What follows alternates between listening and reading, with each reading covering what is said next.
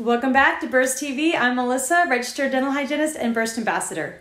In this video, I'll be discussing PFAs, what they are, where they're found, and why we should all be taking notes as dental professionals and consumers of oral care products.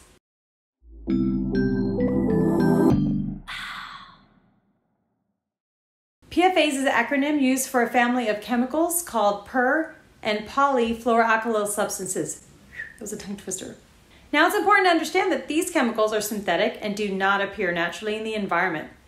Now, in fact, they were originally discovered in 1938 when a chemist working on refrigerants accidentally created a slippery white substance that would later lead to the creation of a very common brand of nonstick cookware. I'll admit it, these pots and pans may clean up a breeze. As of February 2022, the U.S. Environmental Protective Agency counted about 12,000 different kinds of PFAs.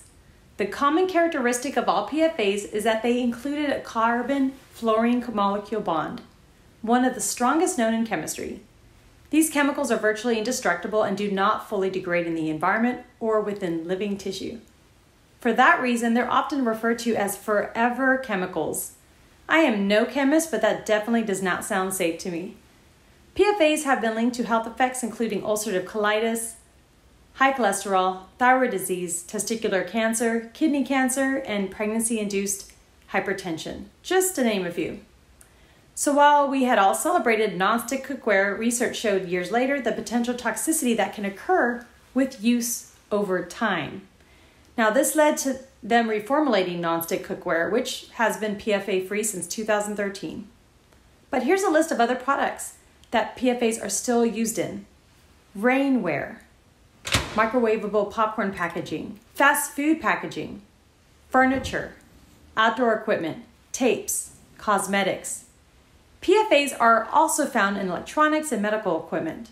Clearly, it's found in a lot of our day to day living. So, federal testing does show that PFAs are in the blood of more than 98% of Americans and stay in the body years after exposure. So, while I would love to continue to discuss this topic for hours, I wanted to jump right into why PFAs have been looked very closely amongst the dental community. So, I came across an article a fellow RDH wrote after she researched the safety of dental floss, specifically coated dental floss. So, after a quick Google search, I discovered a list of floss that did in fact contain PFAs. One of them was one I had recommended and used myself for years. This got me thinking how many of us dental professionals know which floss is PFA free? Here I am recommending my patients use floss daily, which could possibly impact their health based on the type of floss they choose. So, there is one peer reviewed scholarly article on the subject and learned using a PFA coated floss was associated, in fact, with higher serum concentrations of PFAs. So the researchers measured 11 different PFA chemicals in blood samples taken from 178 middle aged women. And there were a total of 18 different flosses that were studied. Researchers then compared the blood measurements with results that showed women who flossed with the single strand coated floss tended to have higher levels of PFAs in their body compared to those who didn't use it. So, what does the ADA say about this?